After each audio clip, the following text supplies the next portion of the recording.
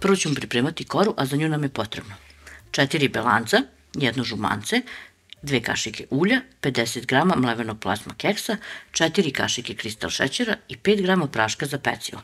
Spisak svih ovih sastojaka uvek možete da pronađete ispod videa. Belanca mutimo uz postepeno dodavanje šećera.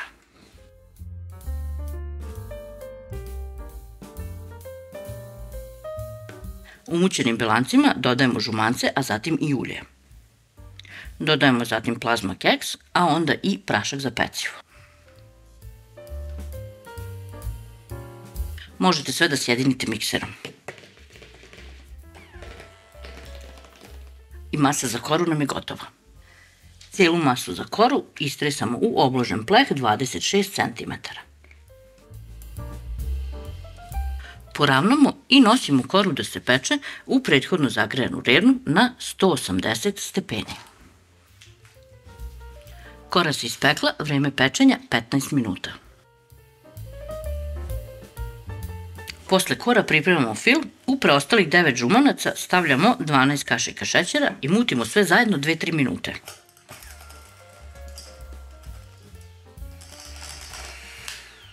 Umućena žumanca treba da vam izgledaju ovako. U šerpu smo sipali 1 do 2 cm vode, a zatim stavljamo i šerpu sa žumancima.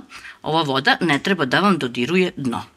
Od momenta kada voda vam provri, kuvamo celu ovu masu nekih 7-8 minuta. Naravno uz povremeno mešanje. Nakon 7-8 minuta dodajemo 250 g crne čokolade. Mešamo sve dok se čokolada ne otopi i ne sjedini sa žumancima. Čim se čokolada otopi i sve se fino sjedini, skidamo sa vatre da se hladi. Kada nam se filo žumanaca ohladio, umutit ćemo omekšali maslac ili margarin. Pošto se ovaj krem dosta stegao, ja ću njemu dodavati iz dva puta ovaj prethodno umućeni maslac.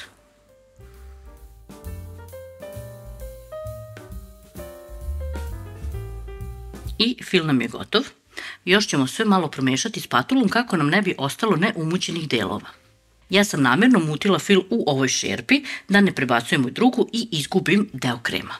Za drugi fil mutimo 180 g šla krema od vanile, 100 g mleka u prahu ili zamene sa 500 ml hladnog mleka.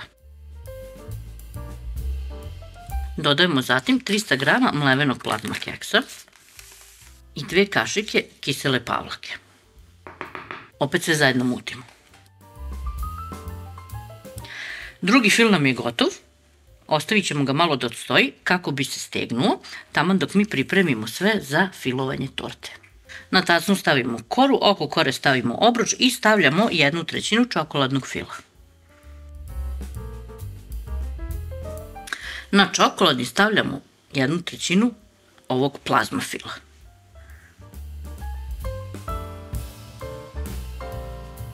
Preko stavljamo drugu koru, a zatim postupak filovanja ponavljamo.